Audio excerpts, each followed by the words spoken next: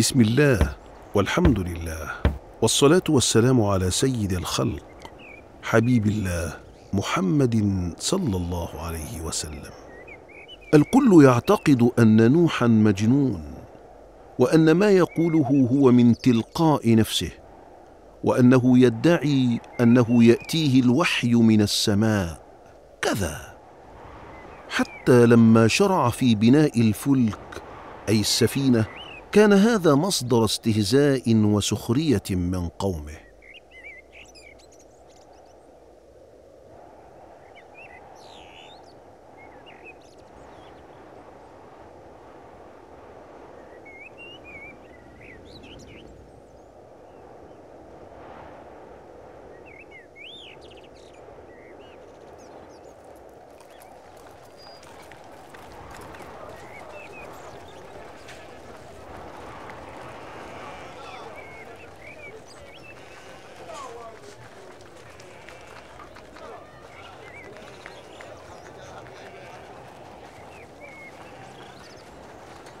ظل نوح يدعو الناس لتوحيد الله وترك عبادة الأصنام. ابتعد عنا أيها المجنون واذهب لبناء السفينة في الصحراء. أنت من جعلت من صديقتي والهة امرأة تعيسة بأفكارك هذه. فانصرف عنا انصرف هيا. واستمر هذا الأذى لنوح عليه السلام وأتباعه طوال فترة دعوته للرجوع عن عبادة الأصنام والدعوة إلى الدخول في دين الحق. هيا بنا لنذهب إلى هذه السفينة ونسخر من نوح.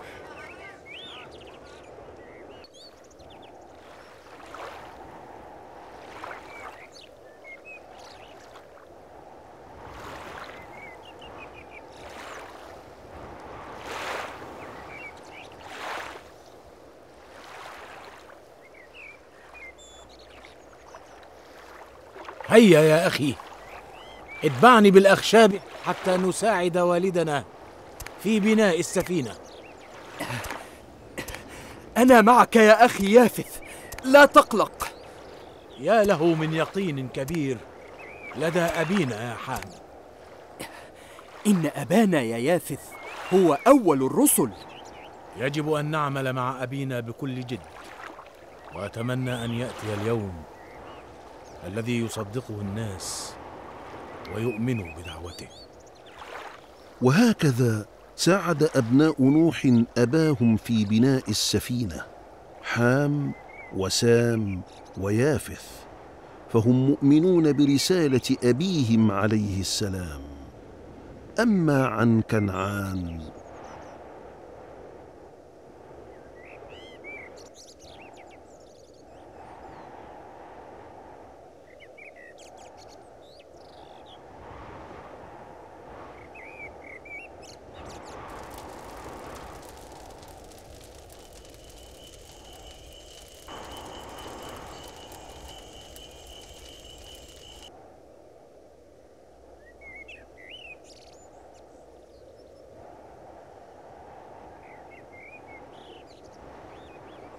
طاب صباحك يا عمي قطار.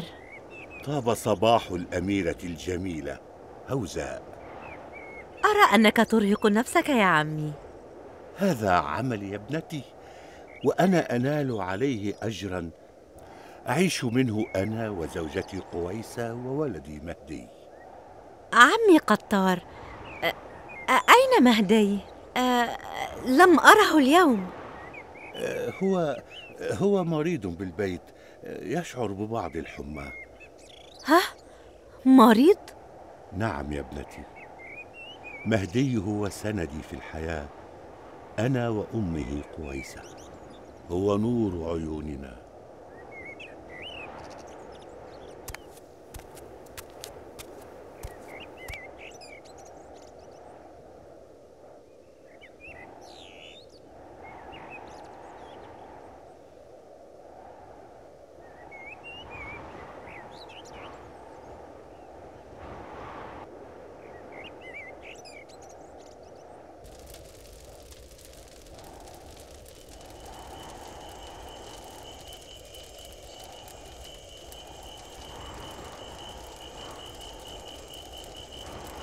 أريد المال. أريد أن أكون ثريا. أريد أن أكون سيدا مثل السراجي والسامق. أريد العزة والجاه والسلطان. يا ود يا سواع أعطوني مالا وسلطانا لأفعل ما أشاء في هذه الحياة. ماذا أنا فقير؟ أريد أن أكون غنيا. أتزوج أميرة وأنجب أمراء وأعيش في قصر كبير. أعطني يا ود ما أريد. أعطني يا إلهي ما أريد.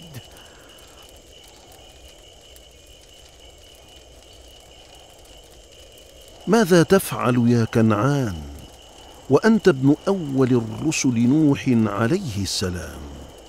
نبي مرسل بالحق والهدى. كيف تجرأت على أبيك وتركت عبادة الله الواحد الأحد وتوجهت لعبادة الأصنام والأوثان؟ حقا قل إن الهدى هدى الله.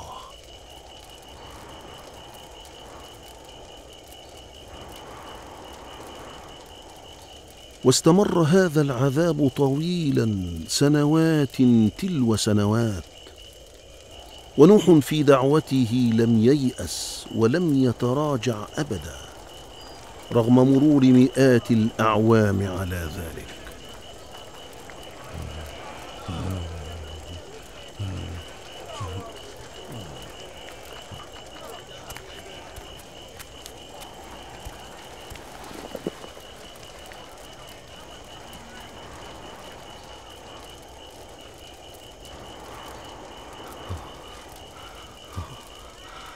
الحمى تزداد يا أمي. قلبي يتمزق خوفا عليك يا ولدي. آه سأضع لك قطعا من القماش المبلل. من؟ تفضلي تفضلي. سلامتك يا مهدي. ماذا بك؟ أتأتين بنفسك يا مولاتي إلى هنا للإطمئنان على خادمك؟ خادم؟ لماذا تقول هذا يا مهدي؟ نحن أصدقاء. أتذكر؟ هل للسحاب أن يصادق التراب؟ وهل للنجوم المضيئة أن تصاحب النكرات؟ لا تقل هذا يا مهدي. أنت شاب مكافح تقوم بواجبك تجاه نفسك وابويك وماذا لو أحب الشاب المكافح الأميرة آم، لو أحب الشاب المكافح الأميرة فليتقدم للزواج بها. إنها حكايات الأطفال يا أميرتي الجميلة. ومن أين تأتي الحكايات؟ من الواقع. لكن الناس في الواقع درجات يا مولاتي الأميرة فلا تنزلي من عرشك. من أجل صغروك في نظر أبيك الأمير. آه، هل تريد طبيب القصر؟ آه، لقد جئت فقط لأطمئن عليك أنت مثال للبنت المهذبة مثل أمك التي رحلت وأنت طفلة ومن الذي رباني بعد موتها يا أم قويسة؟ أنا أنا من قمت بهذا يا هوزاء إذا فأنت الأميرة يا أمي أستأذن الآن لتستريح يا مهدي. ما هذا يا مهدي؟ كان لابد أن تحدثها بشكل أفضل من هذا. يا أمي يا أمي أنت تعلمين أني أحب هوزاء منذ طفولتنا. ولكن ولكن ليس لي أمل في الزواج بها. أنت لا تعلم الغيب يا ولدي. ربما يحدث أمر هو أكبر مما في خيالك. نحن لا نعلم الغيب.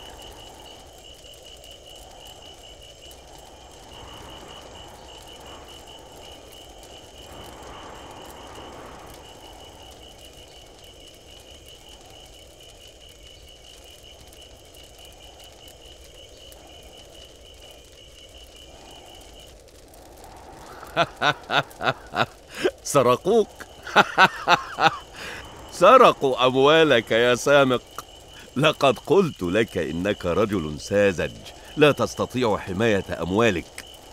ولكني لن أقف مكتوف الأيدي بإيذاء هذه المهزلة.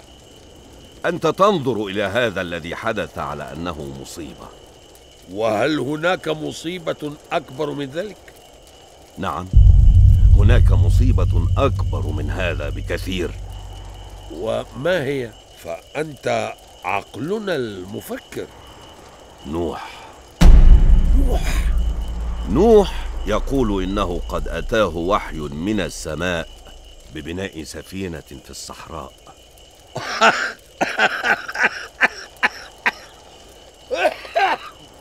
أضحكتني. أضحكتني. وقد كان قلبي حزينا. سفينة في الصحراء؟ كيف؟ إنما أخشاه يا سامق أن يتبعه العبيد فيكون قوة تحاربنا. أي قوة تقصد؟ إنه رجل ضعيف. إذا اتبعه الناس فلن يكون ضعيفا يا سامق. إذا علينا أن نحاربه بكل ما أوتينا من قوة. هذا ما سأفعله. هذا بالضبط. ما سوف أفعله؟ ما سوف أفعله؟